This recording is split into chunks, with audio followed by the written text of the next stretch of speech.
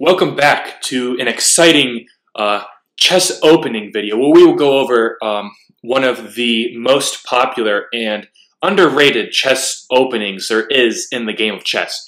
Uh, this opening is uh, very, very old. Some people say it is inspired from China, uh, and some people will even uh, go back. Recent recent research can even go back to the the Roman occupation of Brittany or of, of England uh, under Hadrian.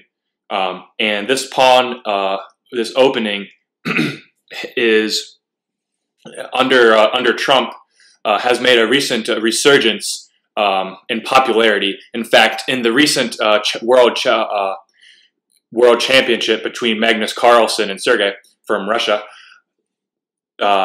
Magnus Carlsen did the Trump opening, and, and there was a lot of uh, speculation that he was even going to do this opening. So without further ado, let's get into the the wall, the pawn wall opening. So what, what white is looking to do is they are looking to get a pawn wall in the center of the board and have black pay for it. So what they're going to do is they are going to open uh, really, really aggressively with a4, and they're looking to build that pawn wall. And the main line, I'm just gonna I'm gonna stick to the main line. There's a couple of different openings. There's the response of the development of the knight uh, and the queen pawn. However, we're going to go over the main line, which is uh, the e5 response from black. White is going to obviously continue building this wall.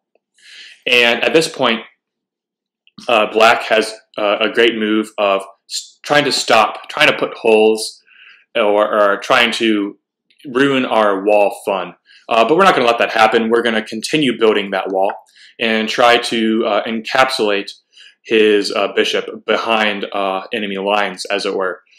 Um, so after this, you're going to likely see uh, development of White's uh, knight.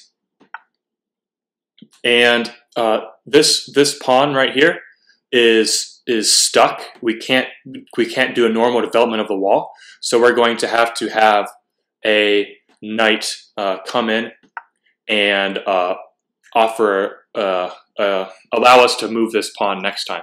and that, that's that's an important life lesson. Uh, patience. So when when you can't do things, you have to look for another way to do it, and then wait your next turn to build the wall. So in this case, we're going to move this pawn next turn.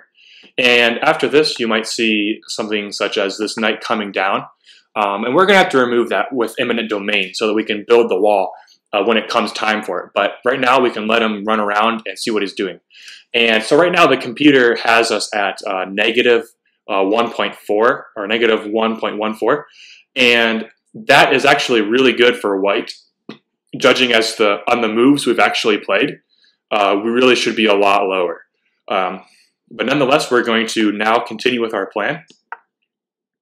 And uh, black will respond with a check. And that's just wasting, really what we're doing is wasting his time uh, with this check. Uh, really what he should be doing is preventing our wall, and that's going to hurt him in the long run. So with this check, we're going to just develop this bishop. We're going to let this bishop, this bishop's like an honorary pawn in the wall right now, and this rook is just holding us back, uh, and we're going to sacrifice it uh, as a wall gambit. Uh, so after that, you're going to see continuation from black, uh, bringing his queen down. Um, after we've moved this pawn, uh, black will will move his king, his queen, her the queen down, and um, we're having another pro uh, another uh, problem right here. So we can't we can't uh, move this pawn forward. So what we're going to do is just try to get rid of this knight. So we're going to uh, move the knight here, and uh, black is going to continue in the main line with the uh, checkmate. So really, uh, this victory, uh, we've been checkmated, but we have gotten four pawns in the center, and that is a moral victory for white.